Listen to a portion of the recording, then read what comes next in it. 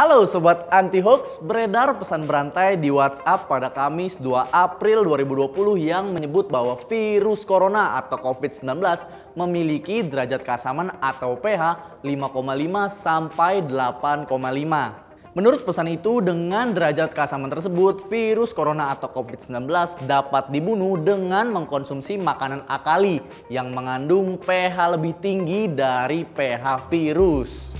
Sebagai informasi, makanan akali adalah makanan yang mengandung pH basa atau pH lebih dari 7 atau pH yang dianggap netral. Namun, apa benar mengkonsumsi makanan akali bisa membunuh virus corona atau COVID-19? Mari kita cek faktanya. Setelah diperiksa, pesan itu ternyata tidak hanya beredar di Indonesia, namun juga beredar di India dan Afrika dalam versi bahasa Inggris. Pesan itu juga mengklaim bahwa informasi tersebut berasal dari penelitian yang diterbitkan di Journal of Virology. Tempo pun memeriksa jurnal tersebut. Hasilnya ditemukan penelitian dengan judul berikut. Tapi penelitian itu diterbitkan pada 1991 dan terkait dengan coronavirus mouse hepatitis virus tipe 4, bukan virus corona jenis baru seperti COVID-19.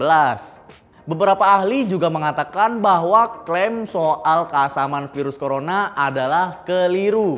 Seperti Suranjit Chatterjee, konsultan senior obat penyakit dalam di Rumah Sakit Indra Prasta Apollo, mengatakan tidak ada bukti untuk mengklaim bahwa konsumsi makanan akali dapat mengobati infeksi virus corona atau COVID-19. Kemudian Oyewale Tomori, Profesor Virologi WHO juga mengatakan bahwa klaim tentang pH pada virus corona atau COVID-19 adalah keliru.